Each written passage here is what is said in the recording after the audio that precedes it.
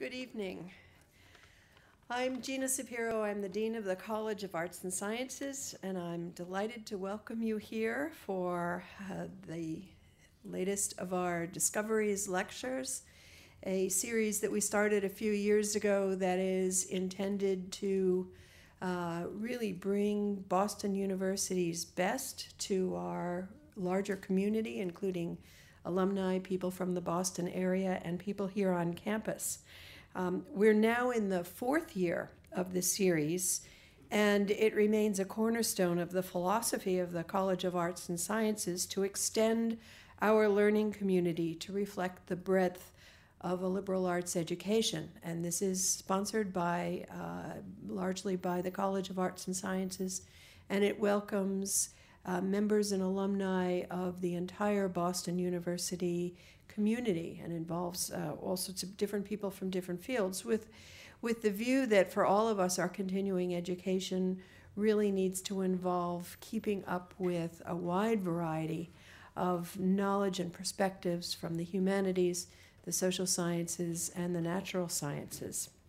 So much of what we do here at Boston University is made possible by the generous alumni and parents and friends who support our alumni fund. And uh, I want to take this opportunity with my captive audience here to say that I would like to encourage everyone to participate. One of the ways that we're able to support the wonderful research of people like our speaker tonight and of our students, graduate and undergraduate, and do a whole host of things that we need to do to keep Boston University a great university and a great learning community requires really that support of our friends and our alumni. So let me just remind you that gifts of any level of support are very important for supporting our educational efforts and research. Information is available at the registration table. Uh, we welcome support of any amount, and we thank those of you and there are people here, those of you who are supporters of Boston University and its various colleges, and we thank those of you who will consider being supporters of ours in the future. Now, let me turn to this evening's event and let me introduce Bill Carroll of the Department of English. Bill is a graduate of Oberlin College and Yale University, and he's been with Boston University since 1972 must have been 10 when he started. He regularly teaches undergraduates and graduate courses in Shakespeare, English drama, and other topics on the early modern period. And in addition to his academic positions, he's also served as director of the Humanities Foundation, director of graduate studies, and we worked very closely together over the last few years when he served as chair of the English department. In 1980, he was awarded BU's highest teaching honor, the Metcalf Cup and Prize for Excellence in Teaching, and I'm sure you'll all find tonight that he has not lost his touch. Through 2005 and 6, he served as president of the Shakespeare Association of America, and currently he's working on a project considering Shakespearean drama in the context of late Tudor and early Stuart succession debates and lineage culture. So I welcome him here to discuss with us 400 years later Shakespeare's The Tempest and early America. Bill.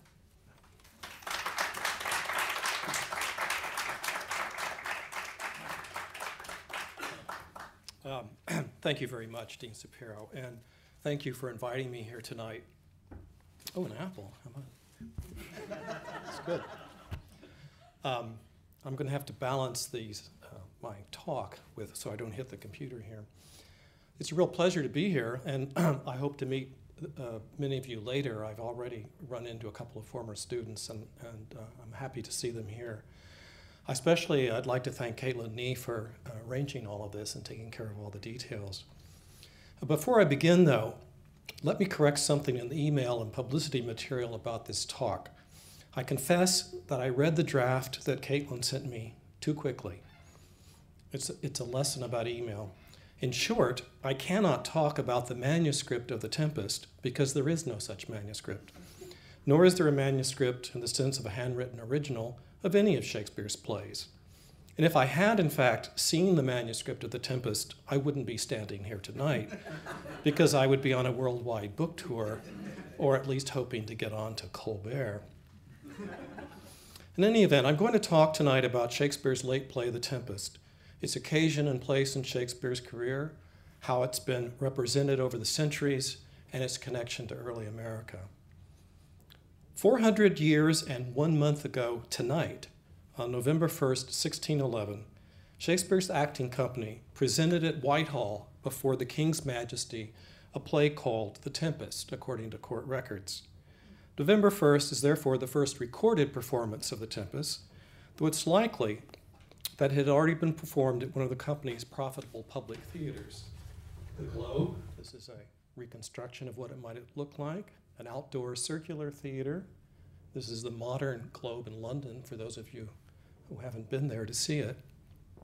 Or a smaller indoor theater with some artificial lighting, the Blackfriars. So probably November 1st was not the first performance of the, of the Tempest, but it's the first recorded performance. Let me briefly sketch out for you how a play in this period would get to the stage. First, the author or authors. The majority of plays in this period were the product of a collaboration between two or more playwrights, so Shakespeare is unusual in single authoring so many of his plays.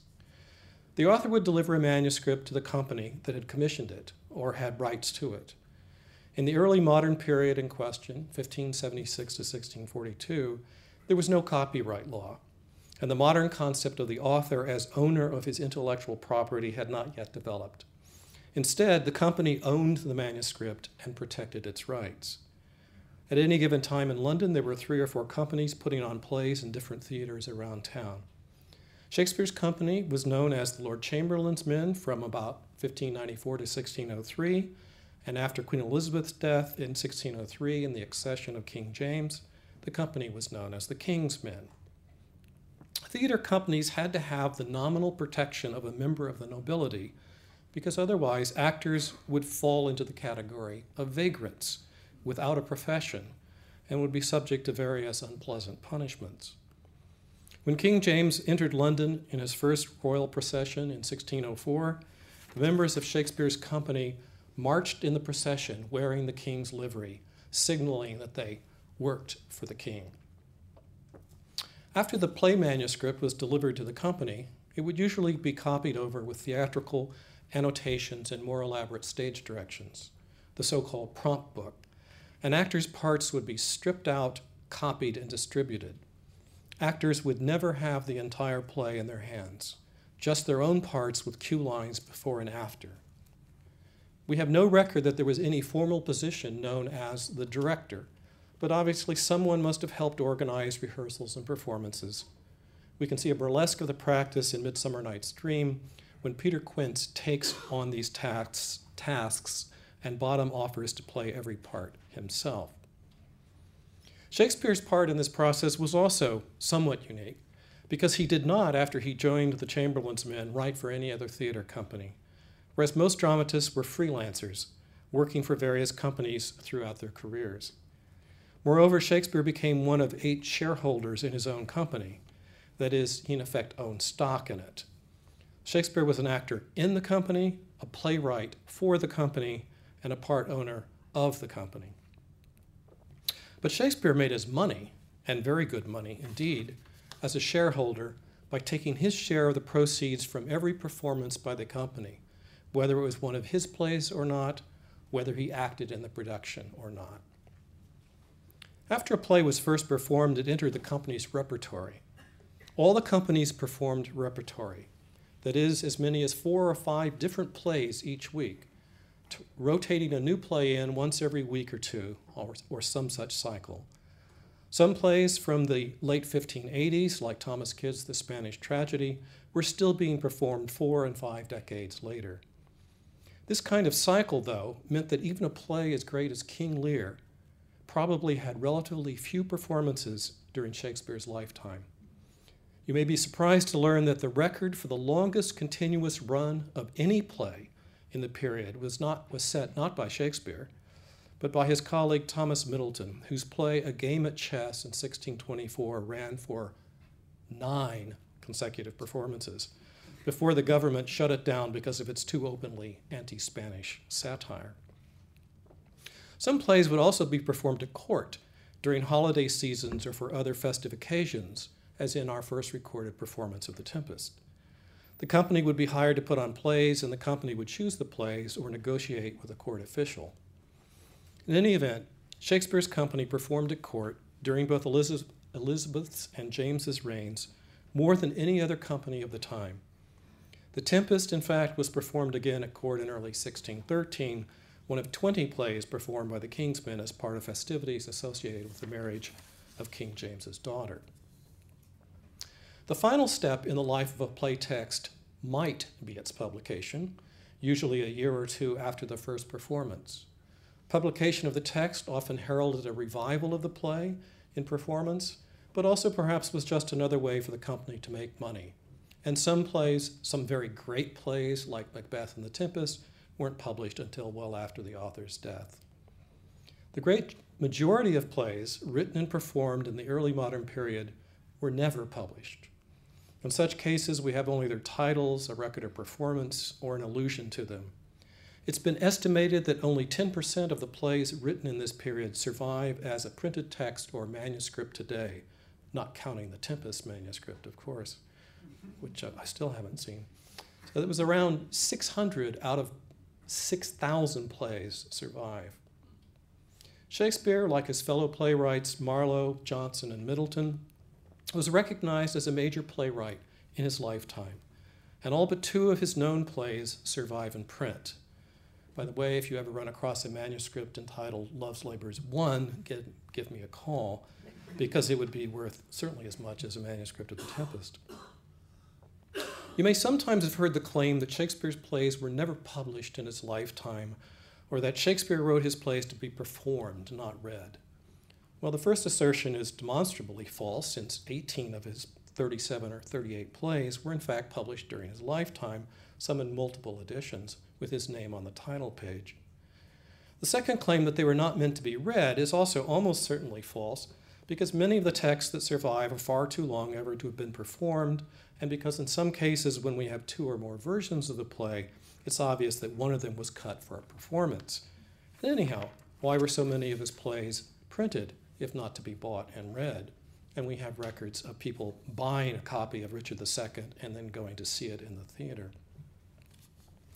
The Tempest was first printed in the first folio of 1623, a collection of 36 of Shakespeare's plays, assembled by his colleagues seven years after his death. 18 plays appeared there that had never been printed before, including The Tempest. The Tempest is the first play in the collection. Probably not because it was thought of as the best play, but because it happened to be the first and best prepared in a group of four plays prepared for publication by a particular editor named Ralph Crane. And The Tempest, along with King Lear, was the first Shakespeare play printed in the Western Hemisphere in New York, 1761. It was performed repeatedly during the colonial period, although it was not the most popular play of the period. So, Back after this detour to the Tempest and November 1st, 1611. Let me refresh your memories of the play with an extremely brief summary of the plot. Twelve years before the play begins, Prospero, the Duke of Milan, and his daughter Miranda had arrived on the unnamed island that is the sole location of the play. Prospero, neglecting worldly ends and his duties as Duke, had devoted himself uh, to his books, particularly his magic books, in the resulting power vacuum, he was overthrown by his brother Antonio with the help of the King of Naples, Alonso, and barely escaped with his life, his infant daughter, and some of his books. When he arrived on the island, there were two inhabitants, neither of them, neither of them native or quite human. Ariel, an airy spirit who had been imprisoned in a tree uh, by his mistress, the witch Sycorax, but then released by Prospero, and Caliban, a savage and deformed slave, the child or whelp of Sycorax. This is from the cast list at the end of the folio text. Sycorax had died shortly after giving birth to Caliban on the island, something like 24 years before the play begins. Ariel and Caliban have become Prospero's servants, Caliban most unwillingly so, as we will see. The island, the island of the play is located in the Mediterranean, somewhere between Milan and Tunis on the northern coast of Africa. Fortunately and coincidentally, as so often happens in literature, Prospero learns that a ship passing near the island carries his brother Antonio, Alonso, his son Ferdinand, and other members of the courts of Milan and Naples, returning for the marriage of Alonso's daughter. Prospero therefore commanded Ariel to create a huge storm, the tempest of the title, in which the ship only seems to be shipwrecked. The passengers and the crew of the ship wander the island in three separate groups, reuniting only at the end. It's all part of what we learn is Prospero's plan to regain his dukedom and return to Milan. The action of the play takes place on the island in a single day between 2 and 5 p.m., which is just when the play would have been performed in real life in one of the theaters of Shakespeare's company.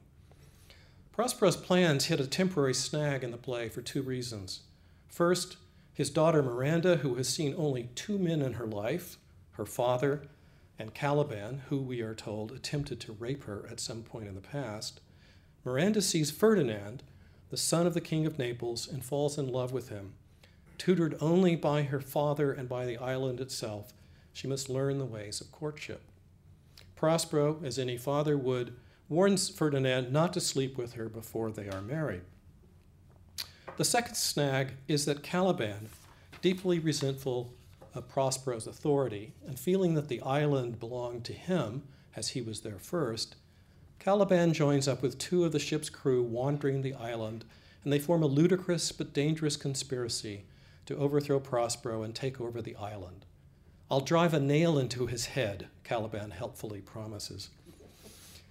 And elsewhere, Alonso, who'd helped Antonio overthrow Prospero, is nearly murdered himself by Antonio and Sebastian, Alonso's brother, who were interrupted by Ariel just in the nick of time. In short, the conspiracies and betrayals of the real world out infiltrate the island world, and the originating conspiracy that overthrew Prospero in the first place finds its repetitions on the island. To cut to the chase, Prospero more or less triumphs in the end, prevents any harm from being done, sees that his daughter and Ferdinand will marry happily, and reclaims his dukedom. He also promises to abandon his magic, the power that led him to neglect worldly ends, but also the technology that allows him to reclaim it. Quote, I'll break my staff, bury it certain fathoms in the earth, and deeper than did ever plummet sound, I'll drown my book. The play ends with everyone on the island about to return to Milan, with Ariel set free to the elements, but with Caliban apparently left behind with the island all his own. The most famous line in the play is probably that of Miranda in the final act. Looking for the first time at this entire motley crew of survivors, conspirators, monsters, drunks, and a few good noblemen, she naively exclaims, quote, Oh wonder, how many goodly creatures are there here! How beauteous mankind is! O brave new world that hath such people in it! To which Prospero replies dryly, "'Tis new to thee. When Aldous Huxley titled his 1932 dystopian novel Brave New World, he fully understood the irony of the line and took more than a few hints from Shakespeare's play, including a central character named John the Savage.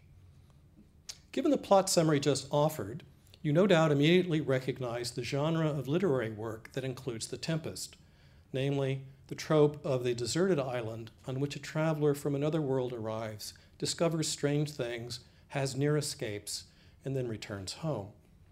It is a subset of narratives about utopia, and it's widespread in popular culture today. Most recently, there was the TV series Lost, which over six seasons worked over many of the same themes as the play, including the ambiguous nature of the island itself. Whether it was a utopian or a dystopian world was a running question. But long before Lost and Survivor, there was Fantasy Island, Gilligan's Island, Blue Lagoon, Tom Hanks's brilliant 2000 film Castaway, and many, many others. And long before these was the 1812 novel and 1960 Disney film Swiss Family Robinson, and the much, much darker 1954 novel and 1963, 1990, and 2008 films of Lord of the Flies, among many, many others, including more recently the Bud Light commercial, when one of the cool guys on a very small island pours out a stream of Bud Light to make a magic circle, which then miraculously transforms into a party scene with hot girls and rock music. it's the same genre. But long before these versions were Robert Louis Stevenson's Treasure Island, Daniel Defoe's Robinson Crusoe, and long before these, long before Shakespeare's play, in fact, was the central work in this genre in England, Sir Thomas More's 1516 masterpiece, Utopia. The name, as you probably know, More imported from the Greek, and it puns on two meanings good place, but also no place. Hence, a utopia is an idealized world that does not exist, the good place that is no place. And such is the island in The Tempest, which seems to represent both an idealized and a fallen world simultaneously. Closely related to the discovered island trope are the science fiction riffs on the, on the idea. Thus, Ridley Scott's chilling 1979 film Alien and its sequels follow almost exactly the same plot. A ship comes to a planet where other humans had shipwrecked. The crew seeks to discover what happened, danger threatens them, and so on. Dozens of such films have followed more or less the same path, from Lost in Space and on, to one film that quite openly borrowed from Shakespeare's play, the 1954 film Forbidden Planet. It's, it's quite bad if you want to look at it. Um, here, the expeditionary party from Earth, which includes dashing and handsome eligible young men, discovers that the only inhabitants of the planet Altair 4 are, are the Prospero figure, Dr. Morbius, and his daughter. Morbius's name suggests both Morpheus, the Greek god of dreams and sleep, and the infinity of the Mobius strip, as well as morbid. He is not a scientist or magician, but something apparently even more powerful a philologist, a master of languages, perhaps even an English major.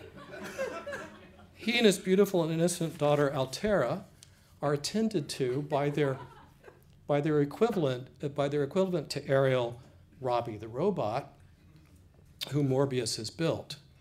But there's a Caliban like danger on the planet, a horrible monster that killed all the other Voyagers years before, and now, after lying inactive for many years, has begun to attack the planetary soldiers who vie for Altaira's attention and threaten Morbius's peace. After many adventures, we discover that the real villain, the intelligence that directs this monster to destroy all the young men of marriageable age, is no less than the unconscious id of Dr. Morbius. In his sleep, Morbius' unconscious unleashes the restraints of civilized behavior, and his id takes revenge on those who threaten him or his daughter. In other words, he's like any father who finds his of age daughter tempted by handsome young men. He wants to kill them. To put it in terms of the Tempest, Prospero Morbius discovers that the Caliban monster is really within himself. And we'll return to this idea in a while. In discovered island narratives, certain themes invariably come up again and again. Civilization versus nature. Are the natives good or a threat? Will the shipwrecked hero be corrupted by new temptations or assert his civilized ethical being? Learning versus instinct, cynicism versus wonder, and so on. In making the Prospero figure a magician, scientist, interplanetary explorer, or philologist, the writer of such a narrative gives the central figure an unusual heightened power that can be abused or used for good, or both. Yes, you say, but what's the connection to America?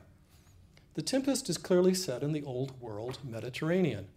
European and African countries are referenced, and now obscure allusions to European political issues hover behind the text. Let me then offer three ways in which America figures in The Tempest. The first is small but points to the others. When Ariel explains to Prospero where he has hidden the king's ship, which the travelers believe was destroyed in the play's opening Tempest, he tells Prospero that it is, quote, in the deep nook where once thou calledst me up at midnight to fetch dew from the still vexed Bermudas, there she's hid. This line refers only to where Ariel once ran an errand, but invoking the Bermuda Islands and their reputation, even in 1611, as a place of storms that vexed the area, reveals the second way in which early America figures in the play. In July 1609, the English ship the Sea Venture, the flagship of a relief expedition en route to the newly established but flagging English colony of Jamestown in Virginia, under the command of Admiral George Somers. This is a portrait of him after his death with the Sea Venture uh, in the background. And this is the statue of him in Bermuda today. Uh, he looks very grateful to have reached land, I'd say. Uh, so Somers, the, sea, the Somers was the uh, admiral in charge. The Sea Venture encountered a dangerous hurricane, a tempest which scattered the fleet, sank one ship, and drove the Sea Venture onto Bermuda's rocky shore. The ship survived, though hopelessly grounded and damaged, by throwing overboard most of its cannons and almost all personal belongings. Fortunately, all the passengers and crew survived and safely reached shore. This is the map that Somers drew of uh, Bermuda. You can see um, two figures at the bottom there, two men, and they're chasing after one of the wild boars that was on the island. And then there's a whale in the harbor. Um, you, I don't have a pointer, but you can see it there that he drew. During the next nine months, the survivors, in spite of an attempted rebellion, as in the play, constructed two entirely new, smaller vessels the Deliverance and the Patience, from the salvaged wood of the Sea Venture and from other wood found on the island. Both Ferdinand and Caliban, by the way, are also shown carrying wood in the play. And there in uh, contemporary Bermuda is a full size replica of the, of the um, Deliverance, and it's an extremely small ship, I must say, to, to sail to Virginia in. They eventually set sail again for America, finally arri- arriving in Virginia the following year and incidentally saving the Jamestown colony, much to the amazement of all those who had believed the ship and its crew had been destroyed in the hurricane. Among those on board the Sea Venture was John Rolfe, who would, who would, after his first wife and child died in Virginia, marry Pocahontas, daughter of Chief Powhatan, in 1614. Also on board the Sea Venture was a man named William Strachey, who wrote a work entitled A True Reportory of the Wrack and the Redemption of Sir Thomas Gates, written during and immediately after the events. When he returned to England in September 1610, Gates, who was served two different terms as governor of the Jamestown settlement, brought with him Strachey's account. Although it was not formally published until 1625, Strachey's work circulated, circulated widely throughout London in manuscript, and Shakespeare read Strachey's account of the storm, shipwreck, and miraculous, miraculous salvation. At about the same time, two other works were published about the sea venture, adding a few details to Strachey's account.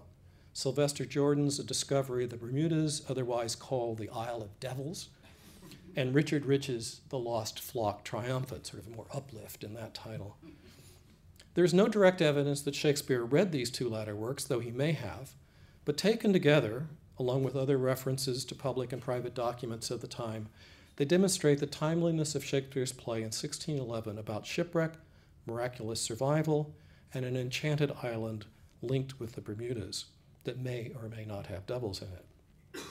Several other works published between 1608 and 1611 either describe the travails and suffering of the Virginia colony, such as Captain John Smith's A True Relation, 1608, or trumpeted its paradisal opportunities.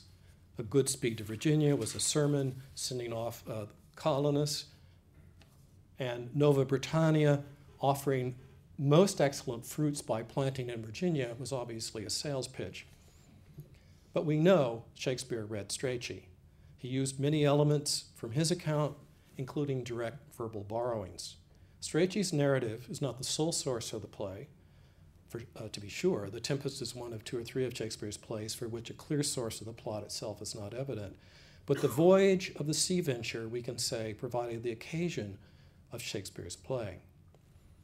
When you, or if you go to Bermuda on vacation, by the way, be sure to visit the Maritime Museum at the western end of the main island in the fort in the old Royal Navy dockyard. There in the shifting house, number two on this map at the bottom, which was, when I saw it in 2005, a nondescript, unguarded, unlit building without any signage indicating what is inside, there you will find some of the actual remains of the sea venture, including a candlestick, pottery, pieces of wood from the hull, one, the one cannon that uh, reached shore, a pipe, and other memorabilia. Because there don't seem to be any guards around, you can actually touch the remains of the ship whose wreck inspired Shakespeare's The Tempest. Of course, you didn't hear me advise you to do that, though I did.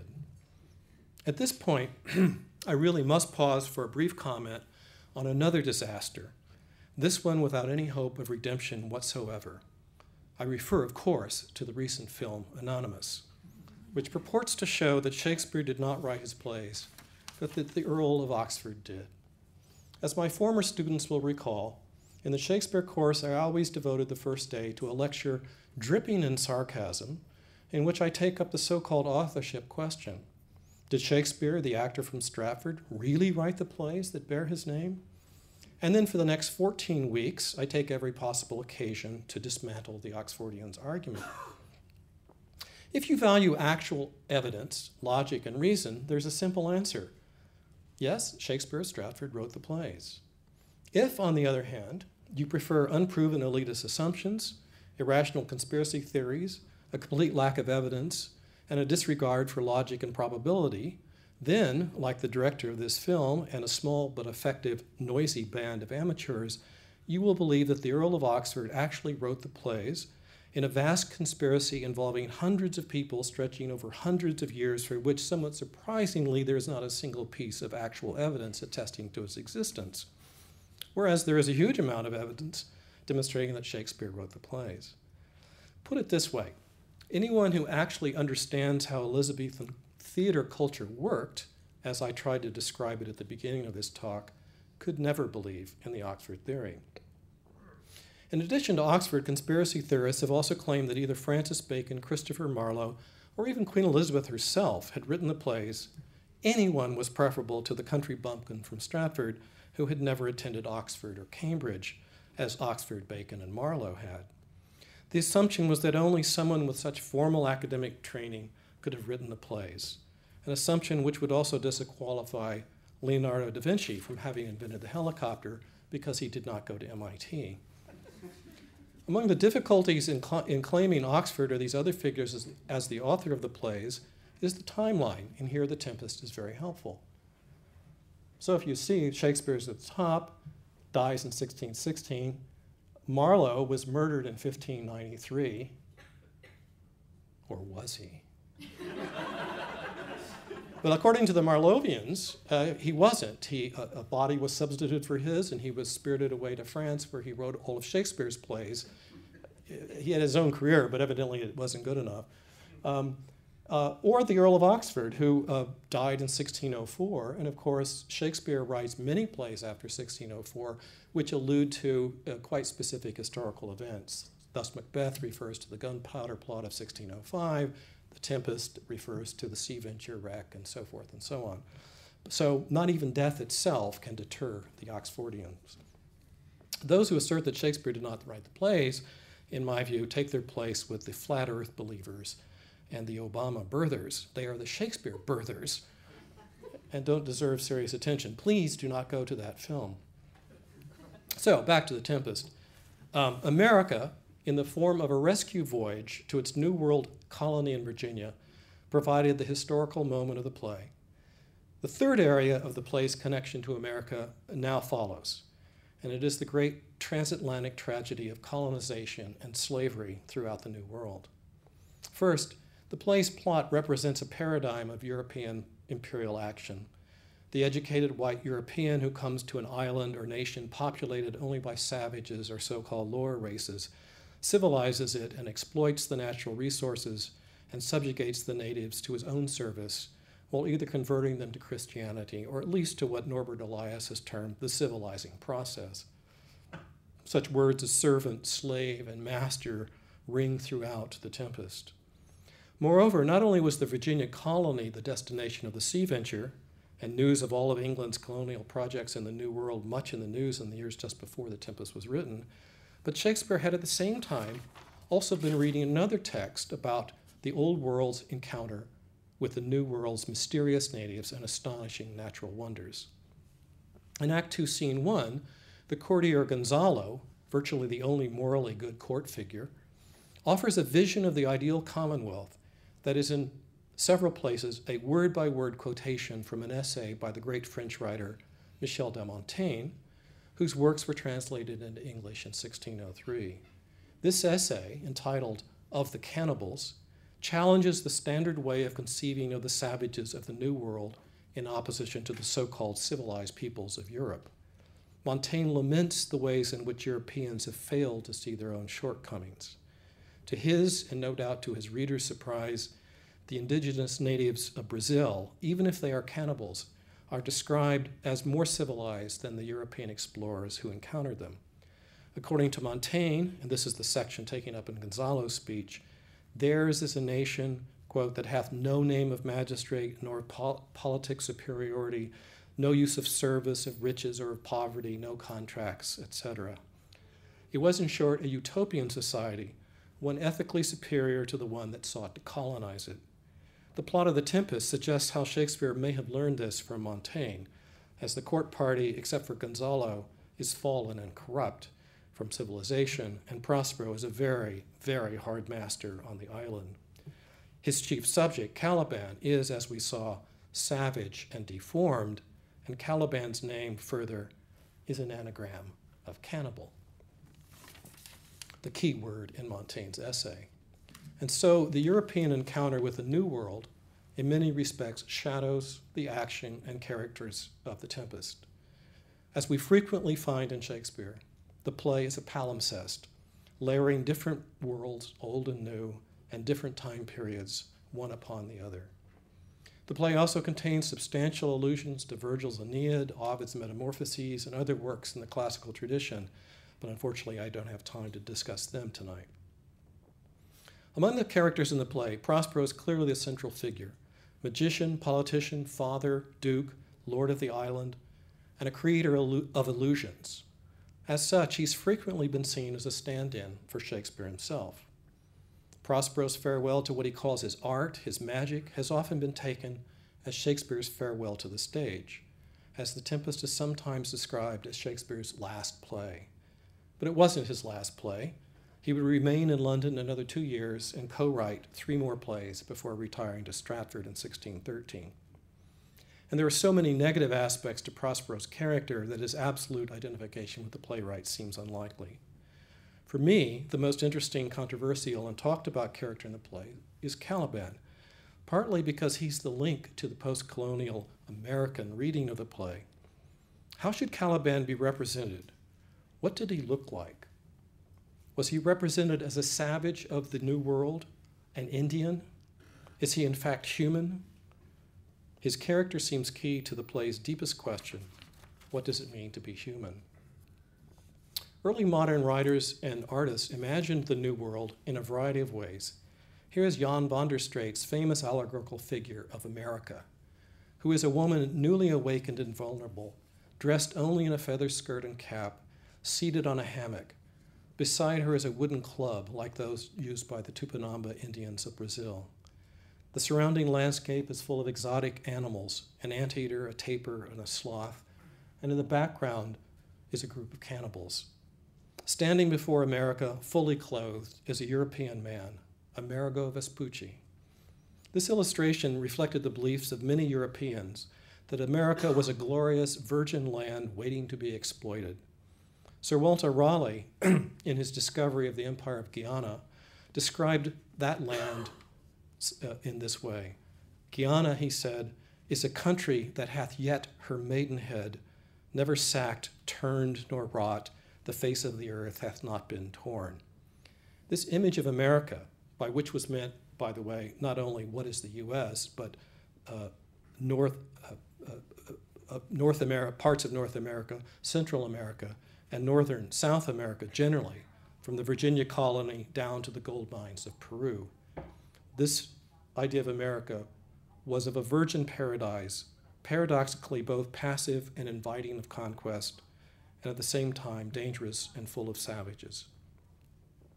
When Trinculo finds Caliban hiding, under a cloak in Act Two of the play, he wonders, What have we here, a man or a fish?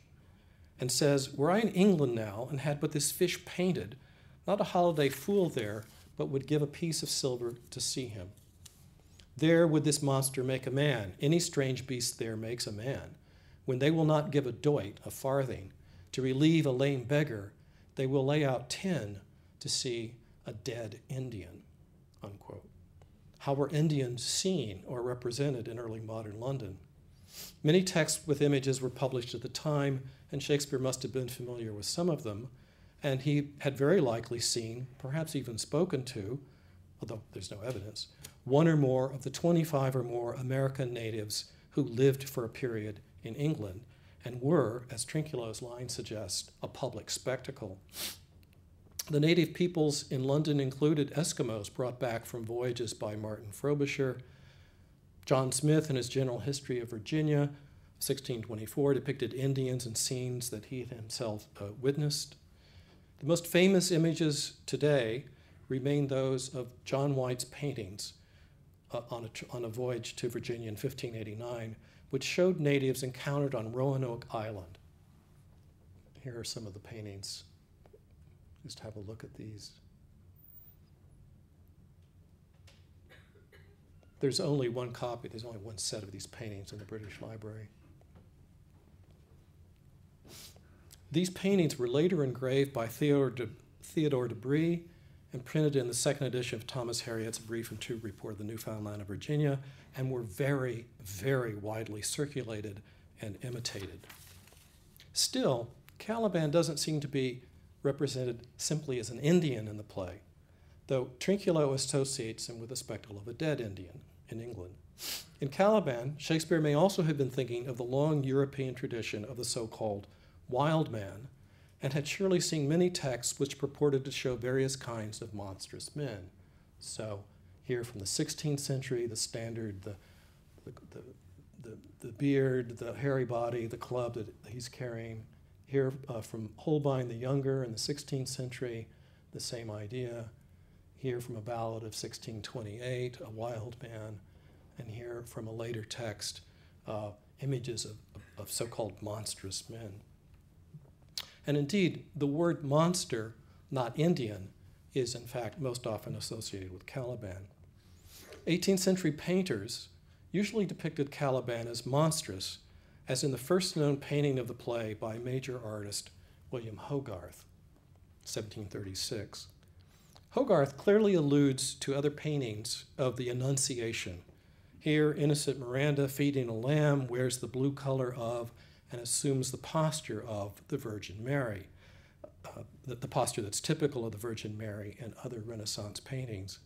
Ferdinand is like one of the Magi paying homage, but Caliban on the right, here is a detail of him, is a malevolent, plebeian, menacing uh, figure. His webbed foot, right foot, crushes two linked doves, Venus's doves, symbol of the marriage that Caliban threatens. And here in Henry Fuseli's 1789 painting, Caliban is a sinister, lustful figure of rebellion opposed to the Enlightenment reason of Prospero, whose outstretched arm and pointed finger symbolizes his power. And again, a seraphic, virginal uh, Miranda on the left. While in this 19th century German uh, illustration, the illustrator has taken Prospero's command to Caliban, Come, thou tortoise, quite literally. For Caliban is a completely alien amphibian or giant tortoise, human only in his upright stature and genitalia, and threatening in his monstrosity. He's saying there in German, oh, oh, would it had been so, that he had in fact completed the rape of Miranda. This drawing makes obvious uh, what Caliban, how Caliban is also threatening in terms of sexuality uh, in the play. He's said to have attempted to rape Miranda, and by contrast, uh, the civilized Ferdinand restrains his desire for Miranda until uh, he will marry Miranda, uh, uh, restrains his desire until he will marry uh, Miranda. David Scott's 1837 painting shows a Godzilla like amphibian contrasted by the angelic Ariel floating over him. and John Hamilton Mortimer's 1820 engraving shows what he called a poppy headed Caliban. This image can serve to represent a turning point in representations of Caliban in the 19th century, during which Caliban slowly became a more sympathetic figure. Beneath the Mortimer engraving, for example, is the line, Do not torment me. Ca- representations of Caliban the, on the late 19th century and early 20th century stage frequently continued this idea of Caliban as monstrous, yet also increasingly a more or less sympathetic figure of suffering. For some romantic writers of the 19th century, Caliban became, as Coleridge wrote, quote, in some respects, a noble being, a man in the sense of the imagination. All the images he uses are drawn from nature and are highly poetical. For William Hazlitt, Caliban's, quote, deformity, whether of body or, or mind, is redeemed by the power and truth of the imagination displayed in it. It's a little hard to imagine when you see you know, some of these figures. Such writers were thinking particularly of Caliban's lines about the beauty of the island. The isle is full of noises, sounds, and sweet airs that give delight and hurt not. Sometimes a thousand twangling instruments will hum about mine ears, and sometime voices, that if I then had waked after long sleep, will make me sleep again. And then in dreaming, the clouds methought would open and show riches ready to drop upon me, that when I waked, I cried to dream again. The Romantic imagination also associated Caliban with a strong resistance to tyranny, a theme which we will shortly see again. Later in the 19th century, however, a new kind of Caliban began to appear on the stage, derived in part from the popularization of the writings of Charles Darwin. Sir Frank Benson, He's holding a fish there as well. Famously entered the stage with a dead fish in his mouth.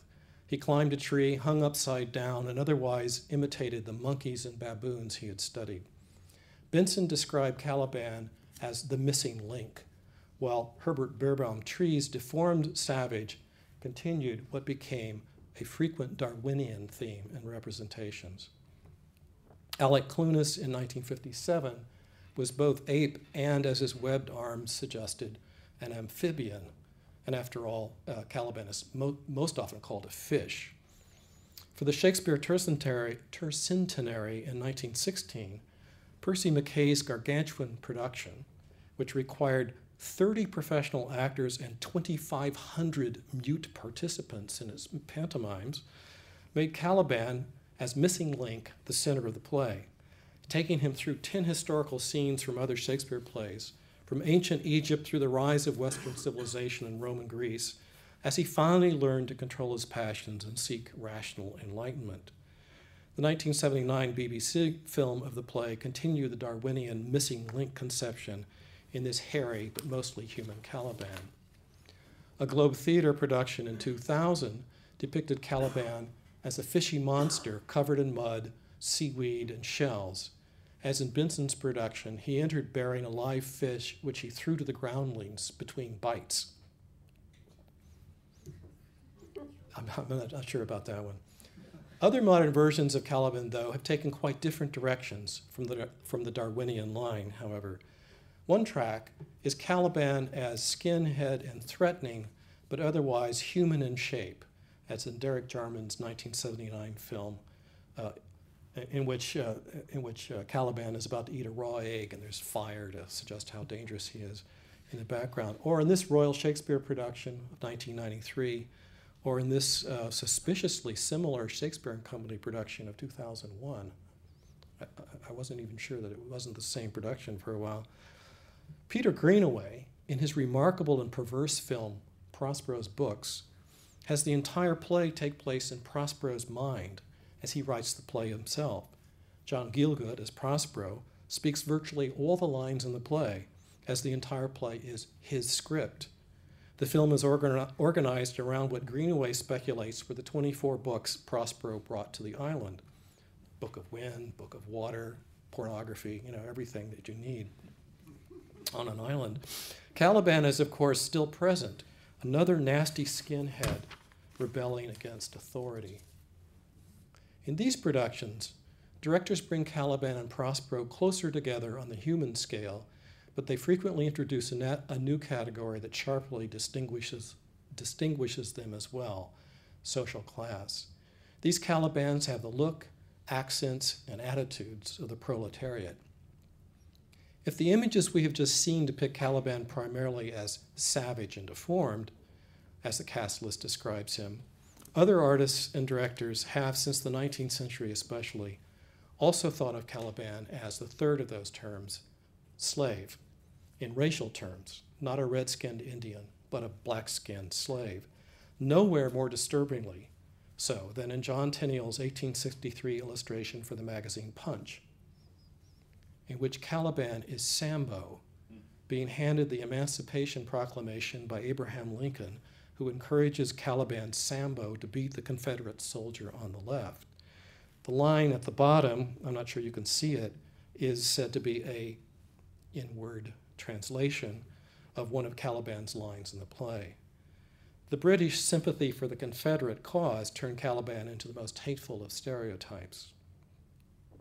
Recent productions of the play, however, have given us black Calibans that are far more sympathetic. Jonathan Miller's landmark production in 1970, which I happened to see, um, I was virtually speechless at the time, I could hardly move, but uh, I happened to see it, cast a very dark black African actor as Caliban and a light skinned black actor as a mulatto Ariel. Distinguished both by skin color and social class, both were nevertheless subject to a, to a harsh white colonial master in Prospero.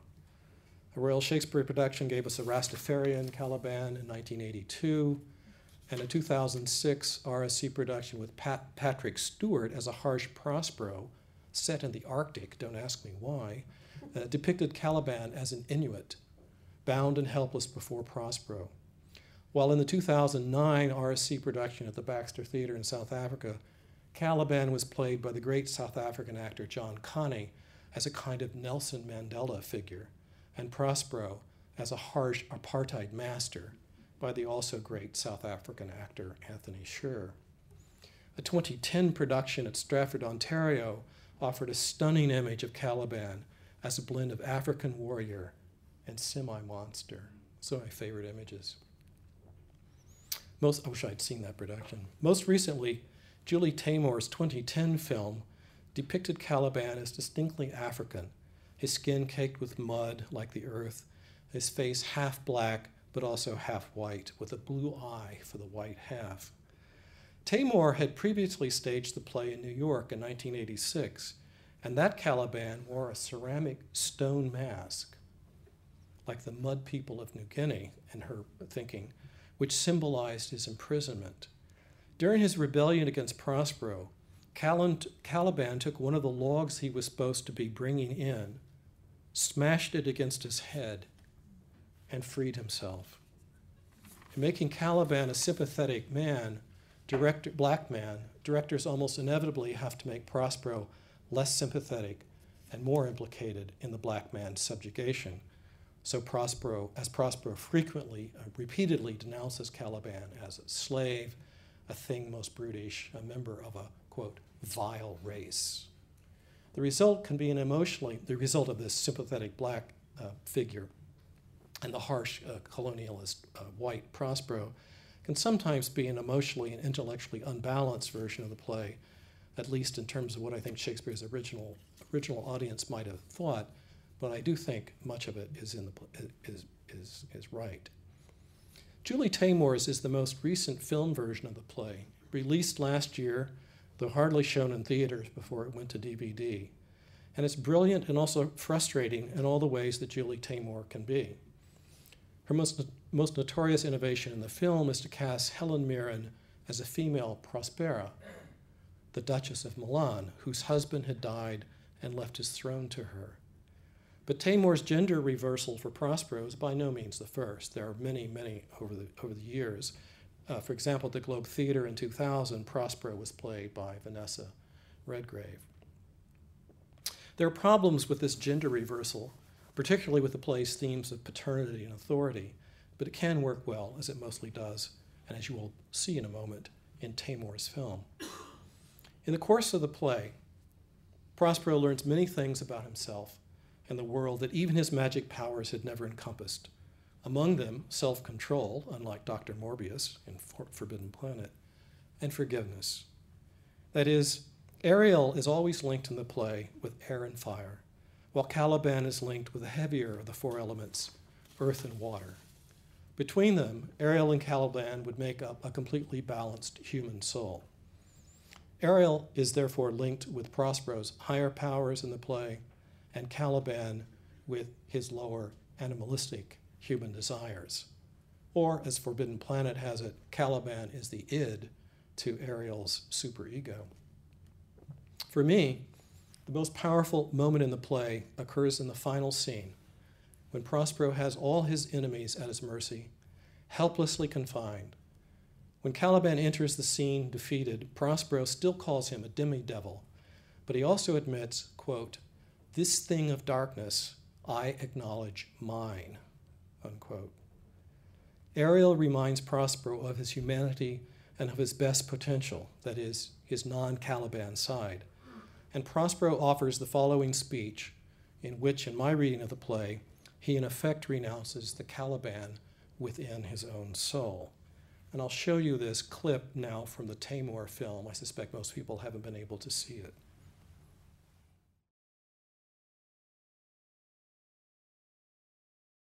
If you're going to have anyone besides John Gielgud be Prospero, I think um, Helen Mirren does the job. And you notice how what a crucial long pause and how wonderful it is after she summons up all of her magical powers, and you actually see the noontide sun, which has been dimmed, uh, the eclipse uh, go. A long pause before she says the key, the key turn in her, in his Prospero's life is, but this rough magic I here abjure. So it's a wonderful clip. I hope you should get to, to see this whole film. Well, we've covered a long journey tonight, uh, though I hope we haven't run, run aground um, and may look for miraculous uh, salvation here in a moment. We've seen Caliban, for one, transformed over the centuries from a monstrous amphibian to a heroic victim of oppression. Um, I'm not sure which of those is right, uh, but those are reflections of the times we live in and the times um, in the 19th century when he was first represented. I focused on just a few strands of this fantastic, provocative play and its connections to the New World, but we could be here for hours more trying to grasp the full imaginative power of the play. But, like Prospero, it's time to know when to retire and to say, for tonight at least, that our revels now are ended. Thank you very much.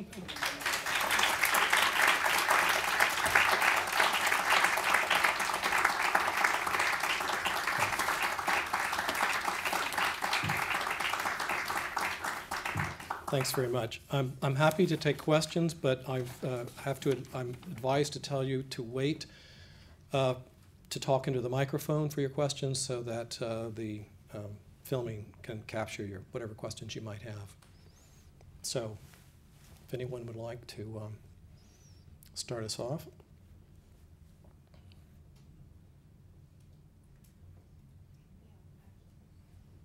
Yes. Um, this isn't so much a question as just an observation. Mm-hmm. I realized um, that I think Caliban is very similar to Gollum, Yeah. you know? And then when you start to think about the other characters, you have, um, uh, you know, the wizard type character and um, the elves, which are kind of like Ariel. Mm-hmm. Or Puck, Hobgoblin, you know, the, sort- the sort of monsters in the, in the countryside. And yeah, and then maybe Frodo and Bilbo together Right, make up yes, right. Miranda. Yeah, You know what I mean? Kind of like the innocent proteges. Well, the Golem developed in the 1590s, I believe, in Prague. Um, and uh, so it's the same period uh, as this play. I don't think there's any connection uh, or that Shakespeare knew anything about that, but um, it's, it's like the wild man. I mean, you know, uh, it's, it's a, um, a concept, an idea, an image that's gone for hundreds of years. Uh, When you see Gollum. we when still have Sasquatch and Yeti and, and wild men like that. Yeah, and, but when you meet Gollum, he's in the water. Mm. He's catching fish. Oh, okay. He talks like this. Yeah. And and the later Gollums that are bald and naked Mm-hmm. and squatting, Mm-hmm. you know, I mean the later Calibans. I'm sorry. later Calibans. Yeah, Yeah. similar to Gollum. Okay, It's interesting. good, thank you.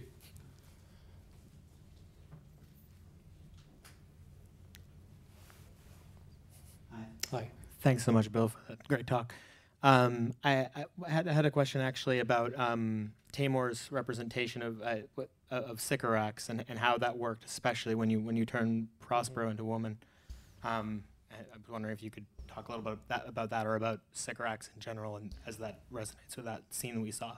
Well, that, uh, um, this is a PhD student who's writing on this play, so uh, watch out. Um, and I didn't mention one of the things that he thinks is really important, but, but it's okay. Um, it's another Montaigne essay, which we know we now know thanks to Amos that uh, Shakespeare read. Um, well, Taymor doesn't uh, show Sycorax, but Sycorax I've always thought of, always seen as sort of the, the female dark parallel or inversion to Prospero. Sycorax was a magician, uh, a sorceress who was banished from Algiers to the island 24 years before the play began. She had a son, Caliban. Prospero was a magician banished to the island 12 years before the play begins. He has a daughter, Miranda. And so they're like gender and uh, gender reversed in various ways. And um, I think Amos has floated a softball up here for me because in that speech of, of, um, of uh, Prospero's that, uh, that Helen Mirren was speaking, when she is listing all of the um, powers that she has to dim the noontide sun and everything she's going to give up, she's actually uh, quoting almost word for word from uh, both Latin and English translation of a speech in Ovid's Metamorphoses by, that's spoken by Medea, a female witch. And so, in a way, what he's doing, what Prospero, what Shakespeare's doing there, is making Prospero ventriloquize the demonic possibilities uh, that are associated with the negatively with the female witch, and rejecting them, and going back instead of continuing with magic, breaking his staff and burying his book, throwing it, and so on. So uh, he does. So uh, Taymor doesn't actually show uh, Sycorax, but if you want to see a Sycorax, it's in uh, Derek Jarman's film, which is uh, a very homoerotic uh, kind of film, and it actually shows a dis- disgusting scene of a gigantically grotesque um, Sycorax uh, nursing Caliban, and that's uh, so I you know don't see it too late at night. It's not a it's not a good scene, but mostly Sycorax is just there verbally as the demonized female other who just never appears, but is sort of always potentially there. Well, thanks for the question.